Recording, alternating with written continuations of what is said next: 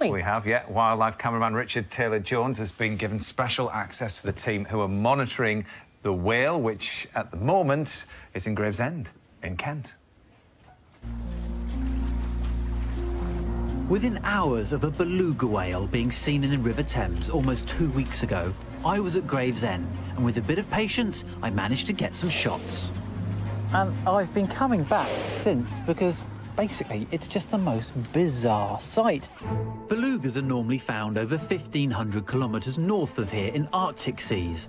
A couple were spotted off Northumberland in 2015, but it's extremely rare to see them in UK waters.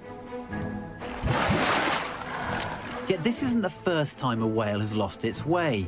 In January 2006, a northern bottlenose female, usually found in the Atlantic, also ended up in the River Thames.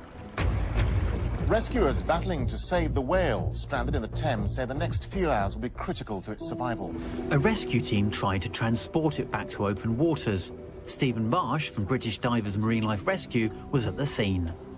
So things didn't end well in 2006, did they? Well, sadly, the whale died, but now we know that that particular species, northern bottlenose whale, would start suffering probably within two hours of actually stranding, and we didn't know that at the time. For the last week, I've had exclusive access to the team who are monitoring the beluga and deciding what steps to take, ensuring its well-being. The beluga whale is a totally different species, and every response is different as well. We have no idea how it got here, but there were storms out of the North Sea. It may already have been in the North Sea for some reason and then come into the estuary for shelter.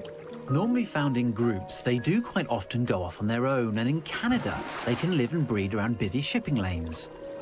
In terms of a habitat, this isn't too bad for it, but what we're concerned about is whether it is finding the right food, whether it is fit, whether it is healthy. To keep it safe from river traffic, the Port of London has set up an exclusion zone but the other big concern is whether it's eating. Fish, which belugas naturally eat, are found here, but crucially, we need to find out if it's feeding.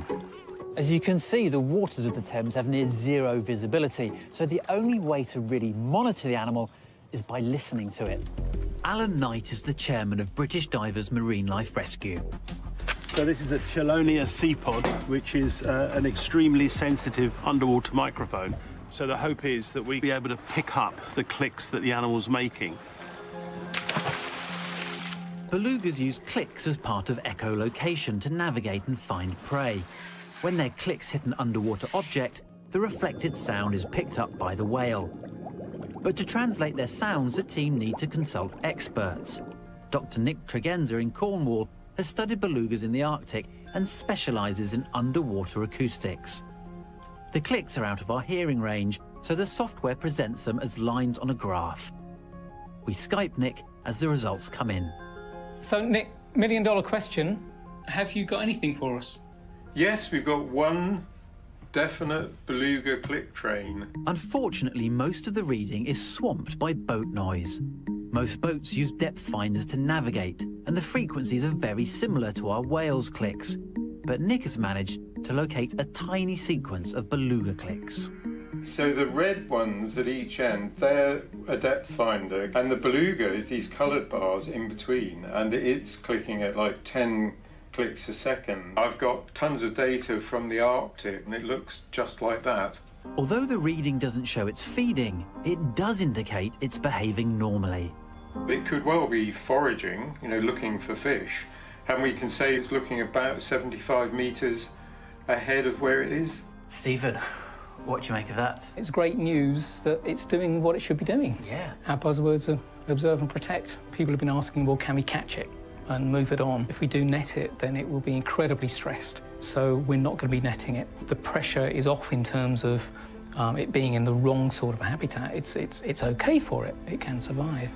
So for now, the aim is to keep monitoring it but leave well alone. The beluga may make its own decision and disappear, and that may well be the best thing for it.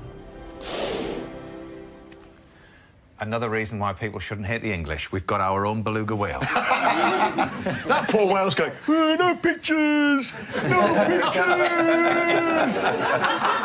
Leave me alone! Where I'm lost! Help!